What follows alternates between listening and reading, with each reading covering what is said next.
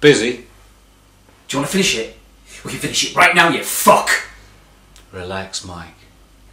You're getting jumpy. You alright? He hadn't done a thing to you. Well, he owed what he owed. Wasn't the first day he'd run up. Mind you, he might think about making it his last. No one's gonna miss him on this wing. He didn't have very many friends, you see. Makes a guy vulnerable. You finished? Nearly. Just thought I'd tell you the news, that's all. What news? Somebody's put a price on your head.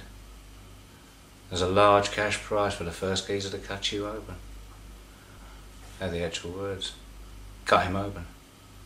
I don't mean like a little slit. I mean like unzipping a sleeping bag. Who have I got to thank for the knife then?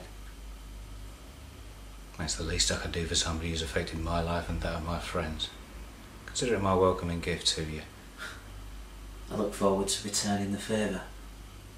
Just so you're under no illusion, Mike. You're now a dead man walking.